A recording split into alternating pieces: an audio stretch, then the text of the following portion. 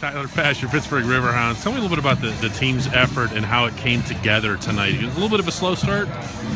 Uh, no, I thought we came out flying. Okay. Just uh, need to get our legs, get get under ourselves, and as the game went on, we started getting more comfortable. As we started popping in goals, we are starting to enjoy ourselves and have fun. That's kind of what it looked like. It looked like things loosened up a little bit. You know, is that right? Yeah. Well, that red card kind of helped, but coming on and then getting that penalty call added a bit of flair to the game.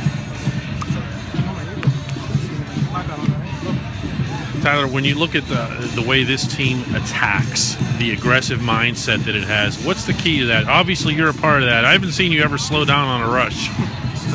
um, no, we like to get our fullbacks forward, and uh, we got a lot of speed in our team and a lot of players that can give those final balls to get onto the end of it. And the speed just helps us get to the byline, get across in the box. You have a green light pretty much around the around the clock, regardless, right? Yeah, it's a little jackrabbit. It's a lot of fun, huh? It is. Tell me about your goal there at the end. It's 3 1, and what are you doing way up there? Oh, I wanted one desperately. I wanted to come on on the flank, but due to the circumstances on the game, I came in at fullback, and I've scored at fullback before, and I knew I could do it. Opportunity came, so I got up there, got myself a goal. Last question I have for you. You were summoned recently to represent your country, Canada. Mm-hmm. Tell me a little bit about how much that means. I mean, especially at the level of international soccer, uh, the idea of being capped. Well, I haven't gotten the cap yet. Right, I know you weren't in the game, right? I've Got to do my time, but mm-hmm. just to represent that Canadian Maple Leaf means a lot to me.